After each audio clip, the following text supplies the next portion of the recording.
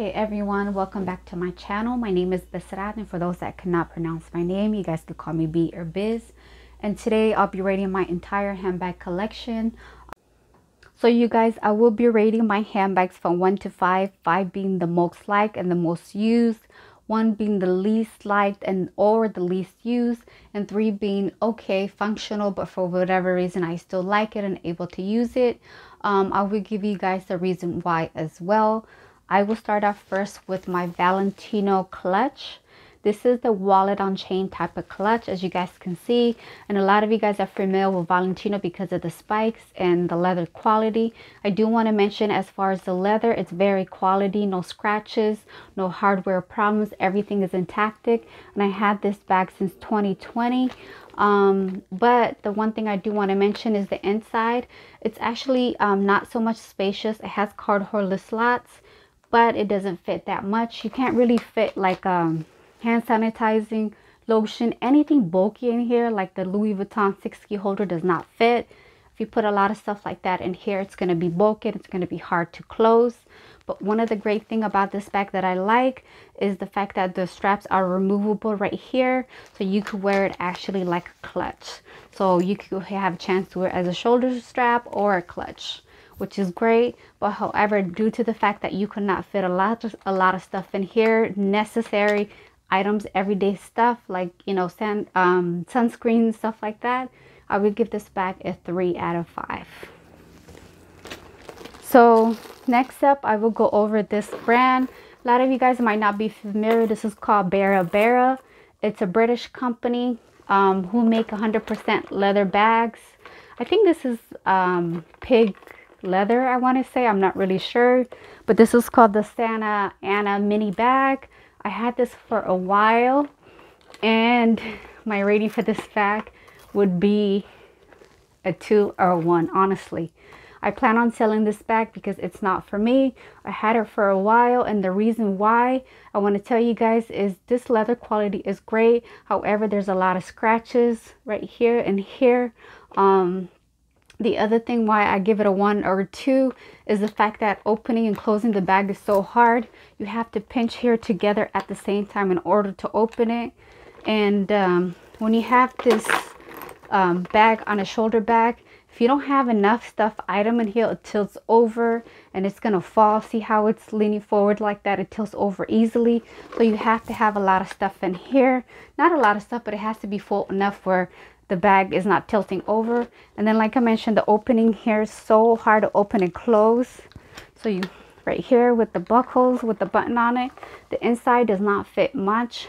And they have a cell phone slot right here. My cell phone does not even fit in here you guys. And um, it wasn't actually that much. I want to say a hundred and something. I don't know the price of it now because I got it a couple years ago. So if you're interested in this bag, make sure you guys look at my Poshmark account, which I will put in the description box for you guys. And next up, I have my Louis Vuitton bum bag, you guys. This is the World Tour bum bag with the back with the black leather stripe. I love this handbag. And already I would give this 5 out of 5. Right now it's my most used handbags. Actually shoulder bag I want to say. It's hands-free is convenient for me when I'm in the store or anywhere and I just have it around the shoulder. Um, so that's why I give it 5 out of 5. However, I do want to mention when you have this bag like this on your shoulder, if you have the zipper open right here halfway, a lot of stuff does fall off. So you have to be very careful.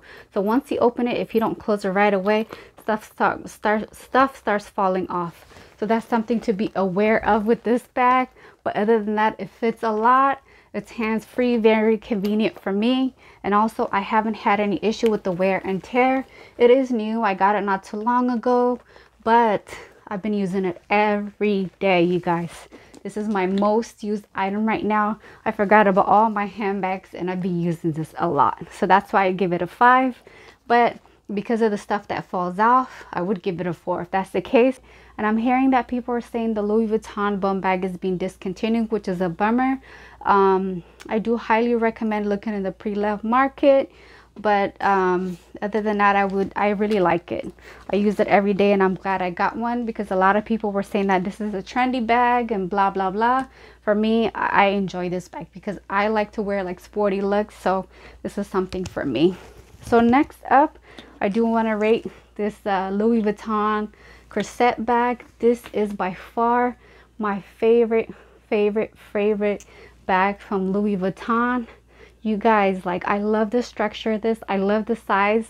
I love the function of this. And i love the fact that it fits a lot of stuff even though it's small. And i love the fact that they give an option as a top handle for some reason i have a fetish for top handle bags i really like um, bags that are structured this way i feel like they're so classy um, i don't know for whatever reason but one of the downfall that I had with this uh, bag was the fact the shoulder strap was too big for me. I ended up selling the shoulder strap. I'll show you guys photo. And I usually wear this as a top um, top um, handle bag and I love it so much. I know a lot of people were complaining about the hardware of this bag being scratched. I left the stickers on because I saw a lot of review. People were saying that, oh, the hardware on here scratches easily. I left it on so I hadn't had any problems with scratches or stains on this bag. Damier Ebene is treated leather. But however, once you open the bag like this, in order for you to close it if the bag is empty, it's going to be hard to close. See how hard it is? You have to fill up the bag with a lot of stuff. And once you fill up a lot of stuff inside, then this bag will be easy to close. Other than that, I would give this bag 5 out of 5 because it is my favorite bag from Louis Vuitton. I do like the bum bag, don't get me wrong, but this is my favorite as far as structure and style. This is something for me. So next, I will rate this bag right here. This is Polène, I believe. It's a French company for those that haven't heard. This bag is called Numero Uno, which means number one. This is a medium size bag, I would say. I got it like in this wine, uh, like burgundy color. I had this for a while. I had this um, bag the same time as my Givenchy Antigona bag around the same time. And this bag could fit a lot of stuff, you guys. A lot. I love the leather quality. I hadn't had any scratches or stains. It has feet. It's very durable and it's leather. I want to say for those that are interested in a brand that has leather, great quality, I would highly recommend buying one of their, one of their bags. Um, also, I do want to mention that the fact the shoulder strap is adjustable, which is a plus. However, the leather quality of the of the shoulder strap is poorly made, I would say. I do have a lot of scratches somewhere. Let me see. I do have scratches somewhere right here. So the, the shoulder strap is not made, it's okay. I don't want to say it's made poor quality, but it scratches easily. And because I wear this bag as a shoulder bag a lot more in the beginning, so I was wearing it a lot. And as you guys can see here as well, like the buckles, I don't know if you guys can see on camera. See right here, the holes over here starting to stretch a little bit. So that's one of the issues that I have with the shoulder straps because when you fill up a lot of stuff in here it puts weight on this. And you have it as a shoulder bag or uh, like a crossbody it does fit a lot of stuff. So I will rate this bag a four out of five. I think um, this bag is great for those that like low-key um, luxury or quality bags that doesn't scream out logos I would highly recommend it for those that are interested into that those kind of bags. I still like it and I do use it every now and then if I'm going out but so far like I said my Louis Vuitton bum bag is an everyday wear for me okay my next handbag is going to be this Gucci Ophidia medium ID bag. As you guys can see I did a bag review of this already so I won't be going into details. I give this bag a 4.5 and the reason for that is because as you guys can see right here with the stripes the red and green stripes it does get fuzz ball like that white um fuzz cotton ball on here easily stuck. If you get it into any of your clothes any sweater or any cotton um, shirts that's like um, sweater type of material. So it does get it on here so you have to be very careful. Also with stains hand sanitizing any lotions or anything you get on here it is going to stain this this area. So you have to be very careful. But other than that this part of the bag is canvas so it's really scratch resistance. Anything that gets on here you could wipe it off easily and it gets removed. The other reason why i gave it a 4.5 is also because here the top handle this will stain easily if you have any lotion hand sanitizing. So you have to be very careful as well. I baby this bag you guys.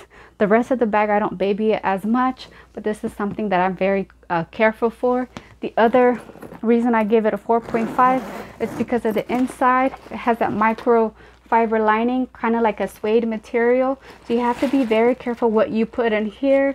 I usually put everything in a um, in a bag and place it in here. So i'm very careful what i put in here such as lipstick any chapstick any lotions hand sanitizing any sunscreen any water as well. I'm very careful on the inside. Um, so my next handbag i will go over this bag right here. This is a bag from mango um, I know a lot of you guys heard of Mango before. It's a clothing company, but they do also have leather handbags. For those that want to save money and don't want to pay the extra, um, you know, luxury price, I would highly recommend check out Mango. They do have great quality leather um, handbags.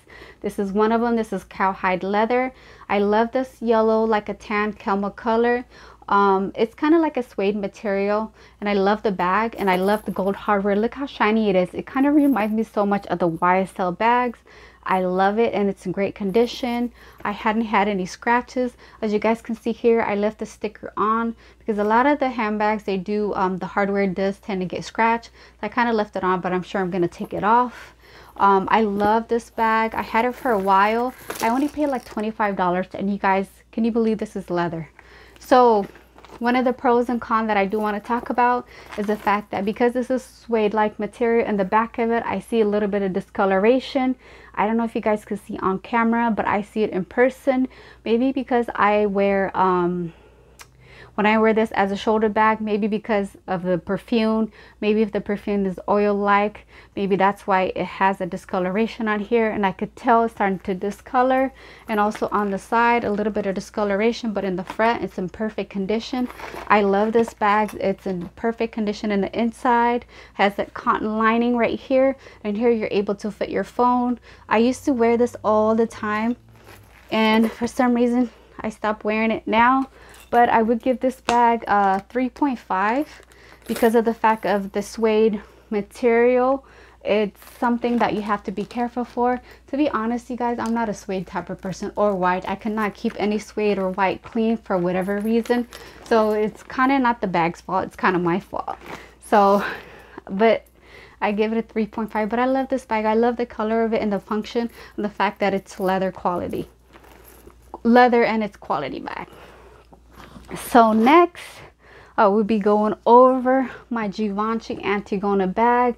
I love love this bag you guys. I love the structure of it. It's boss lady bag. Like you could wear this to um, work dress it up dress it down. I love this bag you guys. I'm so glad I got it. Um, the leather quality is excellent. It fits a lot of stuff. This is a medium size bag because it's in the size small fits a lot of stuff and it has a cotton lining. I would rate this bag five out of five. I love the color. It's something different that you don't see in the market. I'm probably the only person that has this bag from Givenchy. I haven't seen anybody do a review but i love this bag. I did take it for travel in the airport. I did fit a lot of stuff and i was able to carry this as a shoulder bag. I had no problem. I love it you guys. Um, as far as uh, wear and tear the leather is in great condition. I don't have any tears or wear on here. No scratches, no stains. Even in the inside, I don't. I love it. The hardware doesn't have scratches or anything on it. This is why I give this bag 5 out of 5. And next, I will go over my Louis Vuitton Speedy 25. I also love, love this bag, you guys. Most of the bag that I actually have, I really like it. Um, the only downfall of this, I wish I got the bandolier instead of the classic Speedy 25 because sometimes I do want um, to carry it on my shoulder because sometimes when I'm carrying it, it gets so heavy and I get so tired of um, holding this bag like this. But right now with the price increase of the bandolier, I probably look in the pre-love market to see if they have anything available, probably in the size 30 or 25. However, as far as this bag i love the fact that i don't have any stain or scratches on this bag. Damier Ebene is treated uh, canvas so look you guys no stains nothing on here. I use this bag every day when i first got it but i kind of gave it a break and switch it up with the wearing the bum bag but these are the two bags that i actually wear if i'm not wearing my speedy 25 i'm usually wearing my bum bag so I switch between both of them off and on. I have used this for travel. It does fit a lot of stuff. And the hardware is in great condition. I don't have any scratches or stains even on the leather part right here. Um, as far as the inside, I do have uh, I do have an insert. That's why it's very structured. I have a lot of stuff in here still um, because sometimes I'm switching bags from there to here. I would rate this bag as well five, I guess I would say. Yeah, I would rate this five out of five. I love this bag. I know some people are not into speedy. I love the structure of it. It's pretty small and I am petite, so I wanted something like this. This fits a lot of stuff for me. I don't usually like small bags like that. I like medium sized bags so I could fit enough stuff. But if I'm doing errands every day, then it's something like a bum bag or something smaller. But this bag is a must have for me and I'm glad I got it. The next bag that I want to talk about is going to be this pouch bag. I bought this pouch bag from Amazon. It's a look-alike for the Bottega Veneta pouch bag. You guys, this is such an excellent condition. Look at the braided leather. I know it's not real leather, but look at that. It's an excellent condition, like brand new, and I had it for a while. For a very long time, I would say a year and a half or so. This is made in China, so I did not accept, expect the quality to be good as this. And I was trying to actually decide if I wanted to get the Bottega Veneta so I ended up buying this one to see how I like it. But I ended up keeping this bag and I really like the quality. And the inside has one big hole doesn't have any pockets and you can fit a lot of stuff. The great thing about this bag is the fact that you can wear it as um, like a shoulder bag or crossbody bag or as a clutch but the quality is what amazes me so I give this bag 5 out of 5 I don't think I will be buying the Bottega because this is such a great quality and I wanted something that was similar and I do not want to pay that price tag you guys. Honestly, I bought this only for $25 from Amazon. I think it was 25 around that range. I had it for a while so I'm not really sure what the price but I remember it was about the 20 $20 something like that around that. So the next bag is going to be my YSL medium envelope bag. Honestly you guys i haven't wear this bag enough to give you guys a thorough review or a rating on this bag because i haven't used it much. You know with this covid lockdown or the covid we ha i haven't been going out as much as i should be um, for various reasons but I do love this bag and I do think it's such a great quality as far as the leather. Um, I'm into YSL for some reason right now. Um, I think I want to wear it a little bit more before I, I give you guys an honest review of this bag. So friends, I do want to say to you guys, I do not like having massive handbags, massive SLG in my collection. I like to keep everything to a minimum. Right now, I have 11 handbags in total, minus this, which I will sell and I will have 10. Um, I want to keep my handbags collection in between 15 to 20. Even 20 is too much for me. I rather have something that um, I could use rotate for different occasions but however with the price increase and the cost of living being so high it's i'm starting to think like do i really need to buy another handbag? Because i have enough from what i have.